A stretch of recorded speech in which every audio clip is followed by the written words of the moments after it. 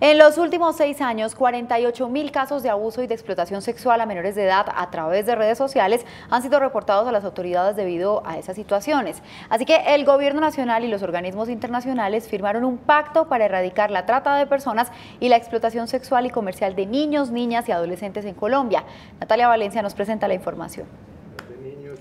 El pacto para erradicar la trata de personas y la explotación sexual y comercial en menores de edad fue firmado por la Procuraduría, la Fiscalía, el Ministerio TIC, el ICBF, la Policía Nacional, UNICEF, Red Papás y otras entidades privadas, el cual busca prevenir también este problema en los entornos digitales. Es clave una educación y una crianza desde el principio en la no violencia, en el respeto y en la confianza.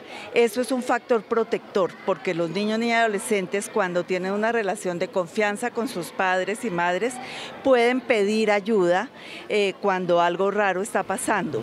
Desde 2012 al 31 de agosto de 2018 se han recibido 48.017 reportes en entornos digitales, de los cuales el 60% se refieren a material de abuso sexual infantil, el 7% a ciberacoso y un 1% de casos son de explotación sexual comercial. Por ejemplo, con el grooming, que es cuando un adulto intenta acercarse a un niño y lo persuade para abusarlo o explotarlo sexualmente.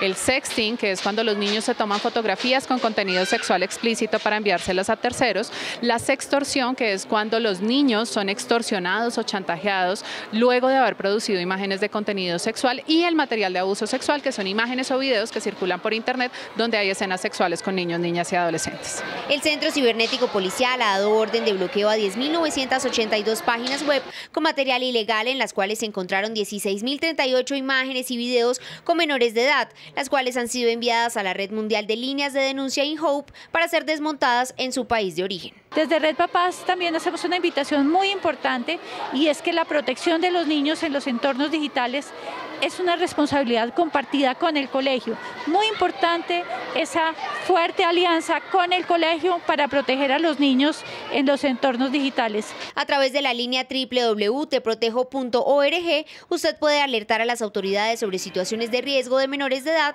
en los entornos digitales.